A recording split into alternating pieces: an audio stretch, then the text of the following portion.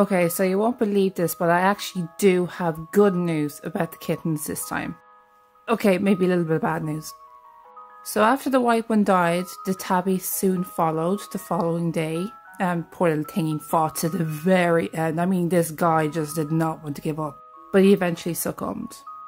But the black one, guys, the, he, he is. I can't even get over how much the black one had just switched from being dying to just living. Now, this isn't the same as it was with that newborn. This is totally different. I was waiting the same day that the tabby kitten died. I was waiting for that poor kitten to die. I was up here all day, um, keeping Tammy company, making sure she was okay, um, just keeping an eye on everything, basically. And I could see him getting worse. I mean, his his belly had had was still very bloated. He had stopped meowing altogether, like no meows, not a sound. He'd have these silent meows where he'd open his mouth and no sound come out. The poor thing. But then the following day, he still didn't die, and I was just like, and then he started getting his voice back.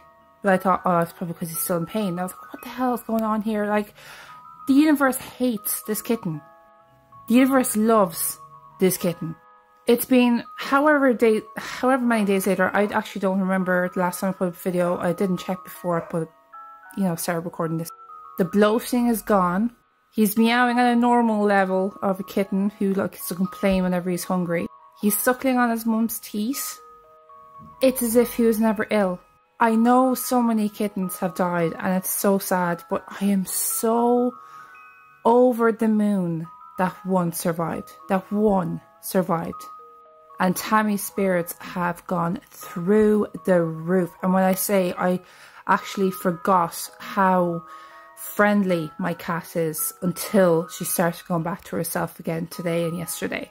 I forgot that she was a friendly cat. That's how down in the dumps she's been the past couple of weeks. That's how upset and tired through the pregnancy and how depressed she was then after the pregnancy.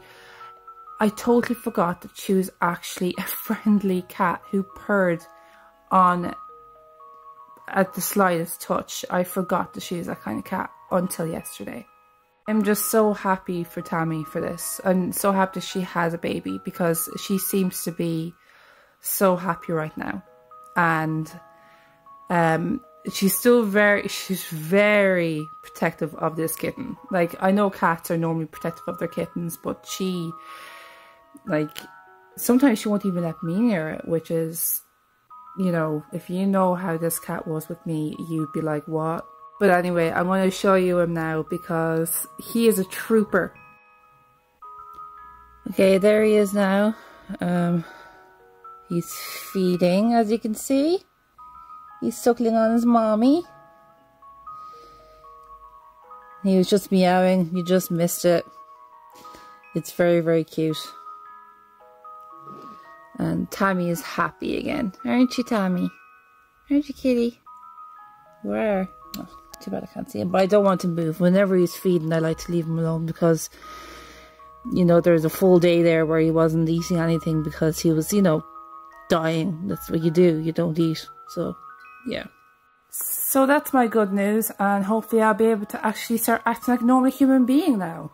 You know, because the last few days, last couple of weeks, last week, God, how long has it been now since the kitten started getting very sick? I don't even remember, honestly. I've been so upset and so wrapped around this shit that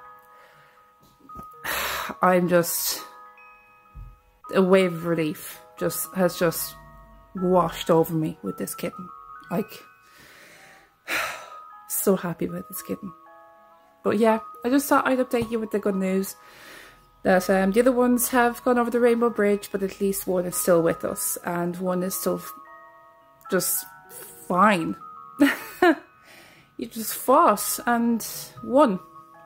So, he's just lucky, I guess. Anyway, Slán.